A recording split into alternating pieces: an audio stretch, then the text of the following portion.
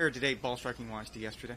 Um, I thought I struck it a lot better. I mean, the the swings I made, the double I made, and the bogeys I made were just because I don't know. Just had I've had a stiff neck for like a month and a half, and it just I couldn't do it. So, um, but it's fine. I thought I struck it way better.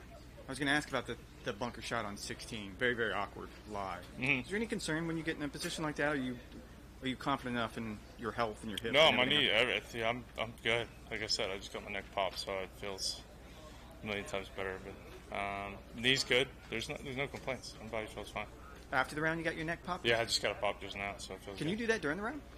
I mean, I've, I've been trying to do it for like a month and a half, and so one of the guys just did it, Brian. Yeah, it's, it's a miracle. I feel so good right now. I feel so much better than I did this. This morning was absolutely brutal, but yeah. So you're really not caring about your round right now. It's more that you got your neck. No, I got my neck fall. Honestly, it's just yeah. That I, yeah, I could care less about the round. My neck's good now.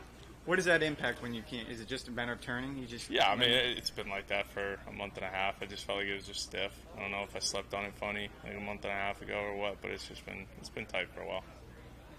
Uh, Follow up pressing question on that. Do you travel with your own pillow? No, no, I don't travel with anything. Just No. curious. Jack don't know. Did. It worked for him. I know that.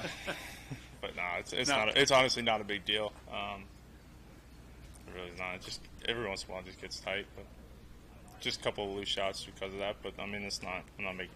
Not trying to make an excuse. It's just um, just bad swing. I know it. I know it. So I'm not too concerned. I felt like I actually struck it way better.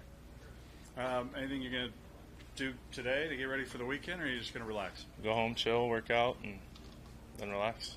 Cool. Sounds like a good plan to me. Thanks, guys. Thanks, Brooke. Yep.